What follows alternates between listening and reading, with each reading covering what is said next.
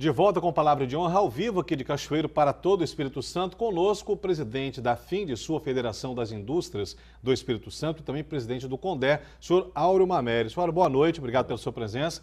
Bom, muito se fala, muito se polemiza em relação à lei da terceirização, projeto de lei que está em tramitação no governo federal. É, e as dúvidas que os trabalhadores têm de perder os direitos, de haver uma demissão em massa para terceirização, como é que a Federação das Indústrias do Estado do Espírito Santo vê essa situação, vê esse projeto de lei?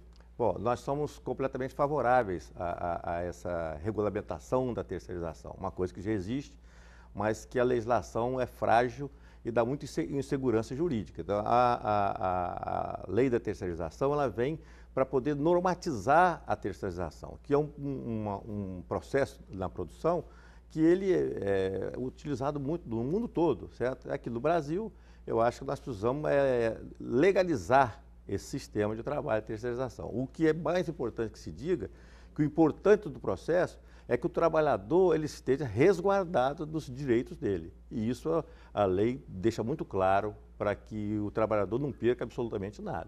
É, esse medo da, da, das classes sindicais de haver uma demissão em massa para a terceirização, isso pode acontecer ou o senhor não vê por esse lado? O senhor vê que pode aumentar essa contratação de terceirizados e, é, de repente, as pessoas que estão desempregadas terem uma oportunidade no mercado de trabalho? A federação vê com esses olhos. Nós temos dados que mostram que haverá um aumento da, da oportunidade de trabalho com a terceirização. Isso é, um, é uma, uma, coisa irreversível. Quer dizer, a terceirização no mundo todo ela, ela, ela, é muito utilizada. Nós precisamos é legalizar, normatizar a terceirização. O processo de, de, de atividade FIA, atividade MEI, são questões que estão sendo analisadas e está dando um pouco de polêmica. Mas o mais importante é que o, empre, que o empregado não perca absolutamente nada. Os direitos trabalhistas deles são preservados. E a empresa contratante ela vai ter a obrigação de controlar isso, de, de, de, de reter um valor para que todos os direitos trabalhistas sejam assegurados. Né? Então, a, a, não seria somente você delegar alguém um serviço e cruzar os braços. Não. O contratante ele vai estar inserido no processo para é, é, defender os interesses do, do, do terceirizado. Quer bom, dizer, o senhor empresário dos... tem uma grande experiência, é. o bom funcionário que quer se manter na empresa, o que, que ele tem que fazer? Não, nós, nós, a ideia é o seguinte, nós vamos trabalhar muito. Né? Todos tem nós. Tem que se especializar, se estudar nossas, bastante. Nossas indústrias têm que trabalhar muito. A competição é muito grande no mundo todo. Nós, nós estamos sendo competindo com um país que tem uma dinâmica muito maior do que a nossa. Nós precisamos nos adequar a essa realidade. Então, eu, eu digo, ou terceirizado ou não terceirizado, nós temos que trabalhar muito. Essa é a, Arregaçar é, as essa, essa é a receita, não, não é tem jeito. Tempo de parar, não é trabalhar. Seu Áureo, o senhor também esteve participando de uma reunião ontem, muito importante, é, que tratou do assunto da interdição do aeroporto aqui de Cachoeiro, que causa impactos muito fortes na economia sul capixaba, né? É, já dá para sentir esse prejuízo já, que está ocorrendo, na, principalmente no setor de rochas ornamentais que o senhor atua? É, o prejuízo é, é eminente, porque nós temos questões de, de mobilidade né, dos empresários, nós temos a questão da saúde, né, com os hospitais que utilizam né, com frequência o aeroporto. Quer dizer, de qualquer forma, a federação já estava preocupada com esse problema dos aeroportos. São quatro aeroportos que serão, terão recursos federais já definidos, né, que é o de São Mateus, Linhares, Colatina e Cachoeiro. No sul do estado, nós só temos o aeroporto de Cachoeiro.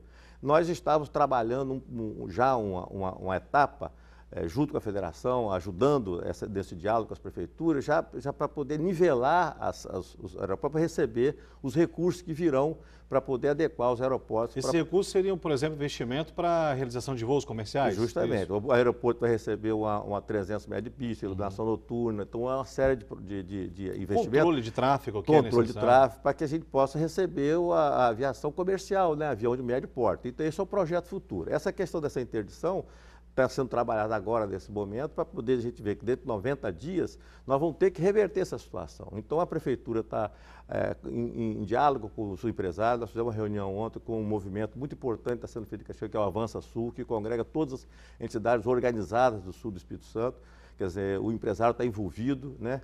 É, então é, existe uma, uma, uma, uma um envolvimento muito grande da sociedade com essa questão do aeroporto, pela importância que ele é ao desenvolvimento do sul do Espírito Santo. Então, eu acredito que essas etapas vão sendo é, resolvidas e o aeroporto possa receber essa, essa, essa, esse investimento e adequar. Eu acredito muito, mas, é, mas tem, que se, tem que resolver alguns problemas cruciais. Principalmente para Cachoeiro, que é uma cidade polo aqui, importantíssima para o Estado, né, senhor? É, o Cachoeiro tem um, um, papel muito importante nesse desenvolvimento. É uma cidade que é uma, uma rótula né, que, que, que que movimenta todo o sul do Espírito Santo. Esse aeroporto é fundamental ao desenvolvimento aqui do sul do Espírito Santo. O senhor falou é, no início da, da, entrevista uma questão muito bacana, que é a questão de trabalhar muito, trabalhar, não ficar prestando atenção em crise, é, não. É. Essa é a tônica que vocês estão tentando é. imprimir nas empresas, na federação, nas outras associações que o senhor faz parte também aqui? É, eu costumo brincar lá na minha empresa que se a gente gastava um, um par de sapatos para trabalhar, nós estamos gastando dois, nós estamos que andar dobrado, trabalhar dobrado. Isso, essa é a realidade. Eu acho que a crise, quando ela sinaliza, é sinal que é, você tem que adequar a sua empresa para aquela realidade e você tem que trabalhar muito. Você vai trabalhar muito, essa é a realidade. Você tem que procurar caminhos, procurar meios para alternativa, abaixar custo, mesmo que você diminua o investimento, você tem que abaixar custo, você tem que aumentar suas vendas, investir na, no, seu, no, seu, no seu comercial. Quer dizer, nós temos que fazer medidas para você se, se defender dessa, dessa, dessa, desse, desse momento. Né? Eu, eu acredito tem que ter muito, criatividade acredito também. muito no trabalho. Agora, senhor, na contramão, vocês estão fazendo investimento aqui na educação profissional vultoso, um investimento é, histórico até. É, a federação e a sociedade precisa participar um pouco mais desse processo. Nós estamos com, fazendo um investimento muito grande aqui em Cachoeiro, que é um novo Senai. O Senai vai ser feito ao lado do SESI. É uma obra grandiosa, uma obra de em torno de 15 milhões de reais só de, de, de, de obra, fora os, depois os laboratórios e tudo mais. Nós, nós vamos mais que dobrar a capacidade de, de, de ensino né, é, de, de, técnico aqui na, na, região de Cachoeiro, em Cachoeiro né, e toda a região em torno. É uma senhora obra. O Cachoeiro Vamos tá... mostrar aqui na, na, Record News? Vamos gravar vamos, semana que vem, né? Já vamos. estamos conversando sobre isso. Vamos, vamos mostrar essa obra aqui. A sociedade precisa conhecer essa grande obra que se virá aqui para Cachoeiro. Ok. Seu Auro Mameri, presidente da Sul, Federação das Indústrias do Estado do Espírito Santo, presidente do CONDER, muito obrigado por sua presença aqui. Eu que agradeço. Sucesso. Eu obrigado aí pra, pelas explicações. Vamos a um breve intervalo. Daqui a pouco você vai conhecer a história das mulheres que são obrigadas a abandonar a sua vida, marido, filhos, trabalho para cuidar dos seus filhos numa UTI de hospital. Eu volto já já.